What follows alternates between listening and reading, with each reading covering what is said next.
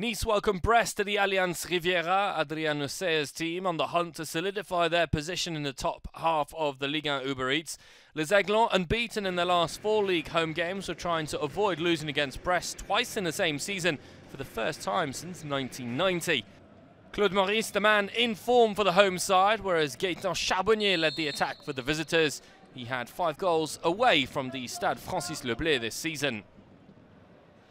After just four minutes, it was the visitors who started the game emphatically. Steve Mounié, the man from Benin, with a superb diving header. It's a wicked delivery into the box, and Mounié is there to meet it perfectly. Brilliant header, no chance for Benitez in goal. And Brest, a goal to the good. Les Aiglons responded. Rony Lopes getting on the end of Claude Maurice's pass to blast into the back of the net and make it one all. Nice level midway through the first half. A disappointing goal to concede for Brest. But the visitors managed to respond just before the break. 43rd minute and another towering header this time by Steve Mounié.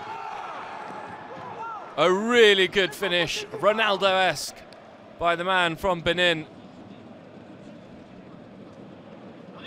The cross is good and Mounié seems to hang forever in the air before placing the header into the back of the net. No chance for Benitez once again and Brest 2-1 up at the break.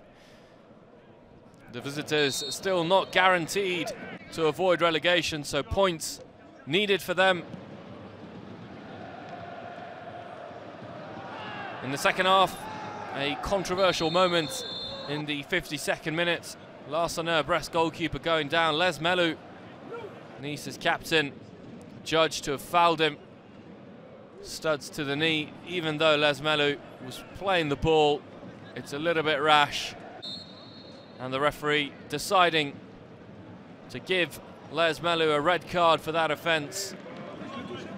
A little bit of incredulity from the Nice man, but nonetheless, the home side down to 10 men. Despite being numerically inferior, Claude Maurice was once again able to provide a teammate, this time Boudaoui. Tucking in Claude Maurice's pullback to all. Nice somewhat against the run of play, getting that equaliser. Larsonneur unable to keep it out. It's a good control finish by Boudaoui. Claude Maurice, the star man. Superb individual skill by the Frenchman to get away from two Brest defenders, three Brest defenders, and then play the ball across the goal. And Hassane Kamara there to give Nice an unlikely victory. Superb finish. But it's all the work, the hard work of Claude Maurice. He does it all, and he's the one who puts the ball on a platter for Camara. The winner in the 89th minute for Nice.